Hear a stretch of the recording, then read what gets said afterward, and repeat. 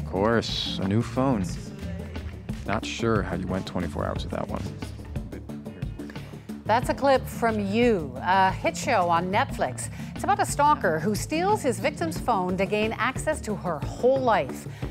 And it's not just happening on TV shows. There are hundreds of apps that can give stalkers the ability to track their victims. It's even been called stalkerware.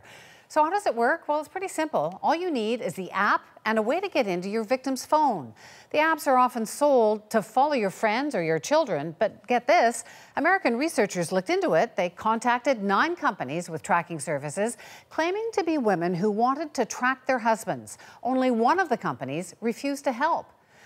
Once these apps are installed, abusers gain access to their victim's location, communications, including texts, photos, basically everything you need to harass or blackmail someone.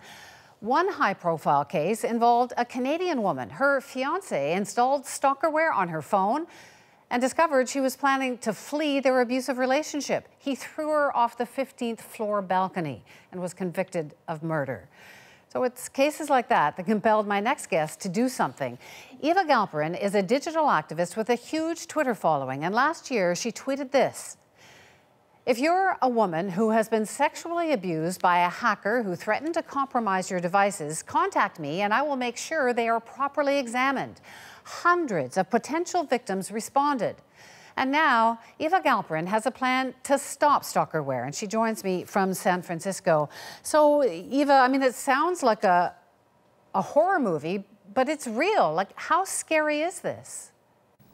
Well, a lot of the people who have reached out to me uh, were definitely very scared because a lot of the time uh, the compromise of their devices or their accounts is happening at the same time uh, as harassment or domestic abuse, and it's really difficult for them to figure out sort of what the contours of the surveillance are and exactly what's gone wrong and what their abuser is capable of.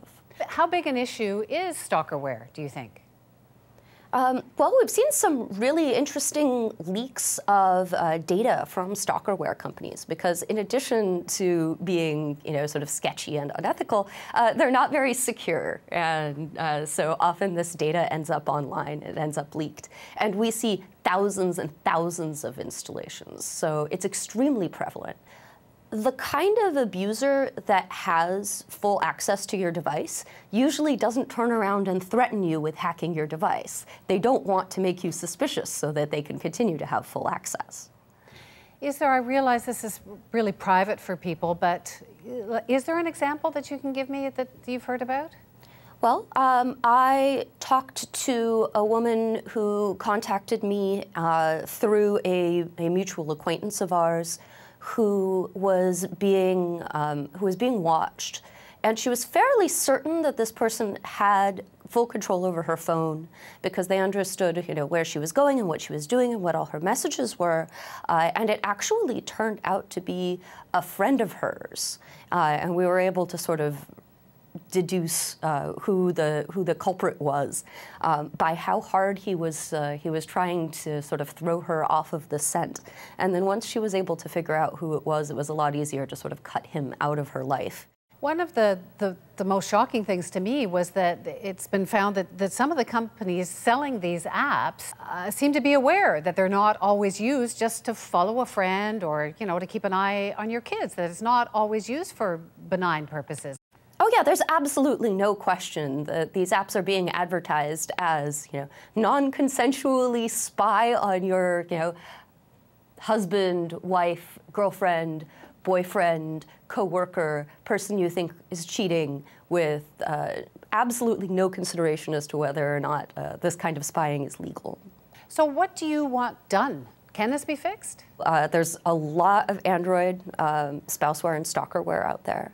And one of the things that I would really like to see antivirus companies start to do is start recognizing these programs as malicious. Because right now, a lot of the time, if you download an AV product onto your phone, you could have one of these, uh, one of these programs on your phone and it won't recognize it as a problem. And it's not that the antivirus companies don't know that these things exist, it's that they, they think that because they have some legitimate uses that they shouldn't be marked as malicious.